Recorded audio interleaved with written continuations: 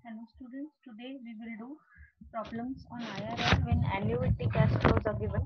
So the first problem find the find IRR for the project which has an annual cash flow of rupees 12,500 and the life of the project is 5 years. That means the cash flows are same for the 5 years. Every year 12,500 we are going to get.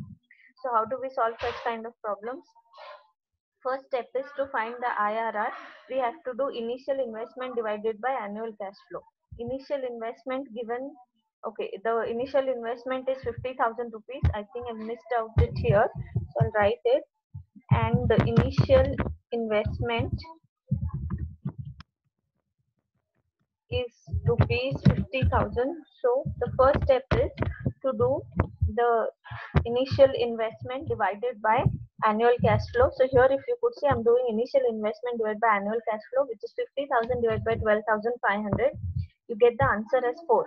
Now you have to search this answer 4 in the table and find the two rates, the lower rate and the higher rate. I'll show you how to do that. Remember the life of the project is 5 years. So let's go to the present value table. The annuity table you have to go to. So let me go to the present value annuity table to you.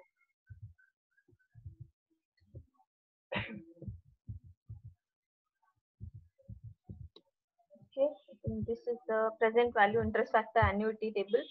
Now i told you we have to search the answer 4 and the number of years given was 5 so we see the fifth year here is the fifth year and i go up to fourth i go to find the value 4 so if you see here you get the value 4.100 and 3.993 it is in between 7 to 8%. So 7% gives you 4.100 and 8% gives you 3.993. So these are the two rates, 7 and 8% that we will consider as lower rate and higher rate. So you will be having the period 5 years. In 5 years, you should go and search the answer that you got by dividing the initial investment by annual cash flows, which was 4. So here is where we get 4. We don't have exactly 4. It is in between 7 and 8%. So we go to the problem now. So 7% the value was 4.100, 8% it was 3.993. So now we'll find the present value of cash flows at 7% lower rate, present value of cash flows at 8% higher rate and then we'll put it in the IRR formula.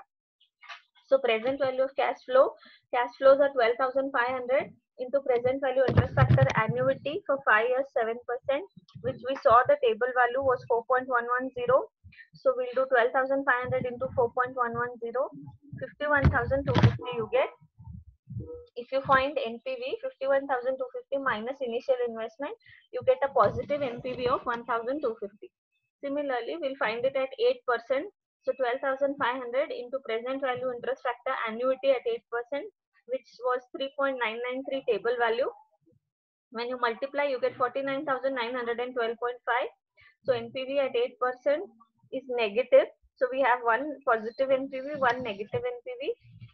Now we can put the values in the formula of IRR. IRR is equals to lower rate, which is 7% plus present value of cash flow at higher rate, which you got here 51,250 minus initial investment, which is given in the problem 50,000 divided by present value of cash flow at higher rate 51,250 minus present value of cash flow at lower rate, which is here 49,912.5 into difference of rate. So 7, 8 minus 7, 1% is the difference. So into 1.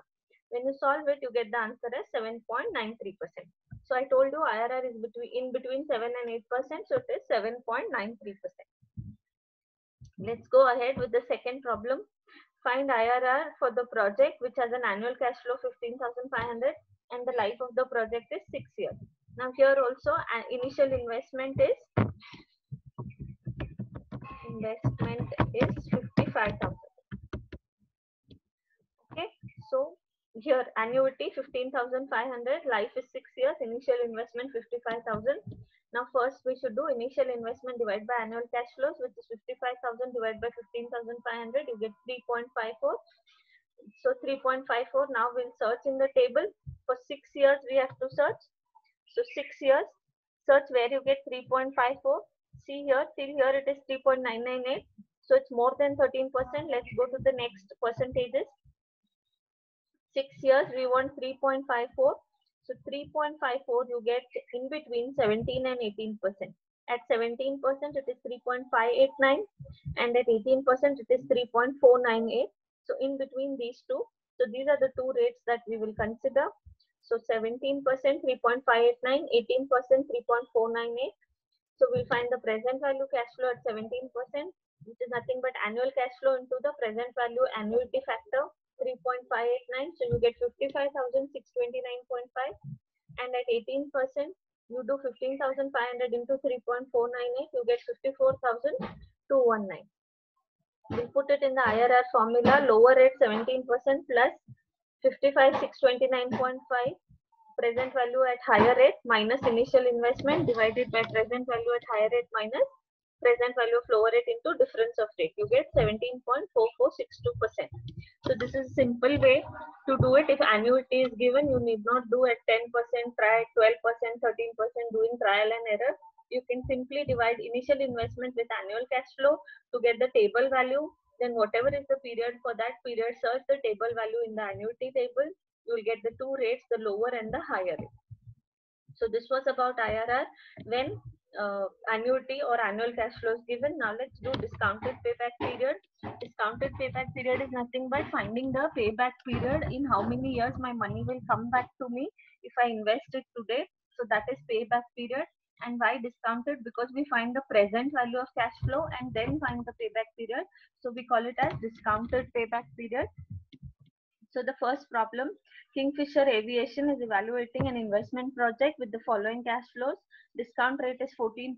What is the discounted payback period for these cash flows if the initial investment is 15,000? So these are the cash flows. First we'll find the present value of cash flows and then we'll see the payback period.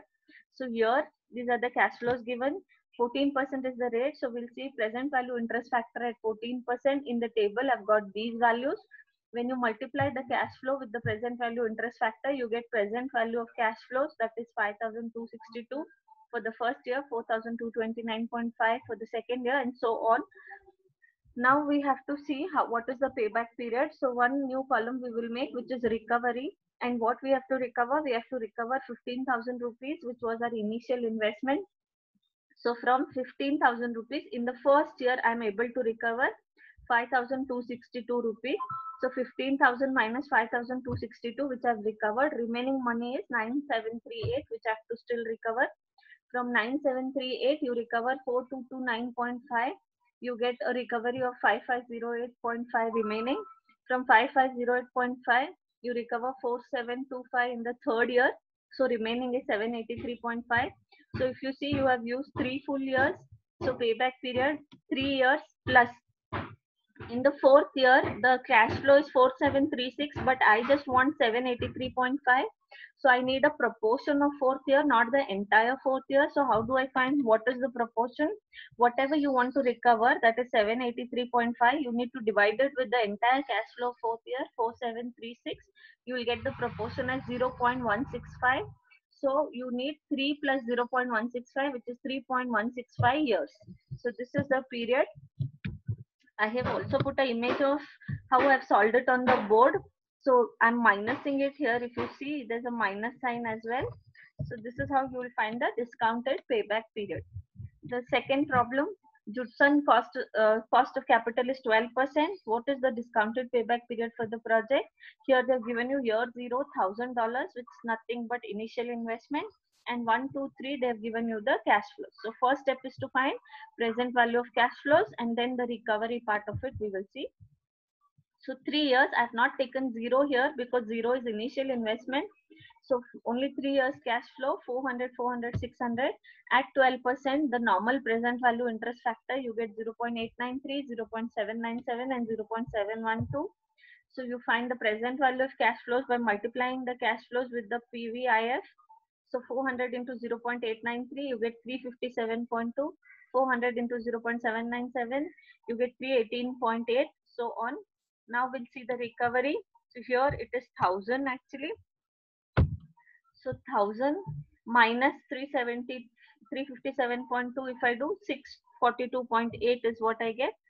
642.8 minus 318.8 if I do 324 is what you get and 324 minus 427.2 uh, so see here in the second in the second year you still need 324 but third year the cash flows are high.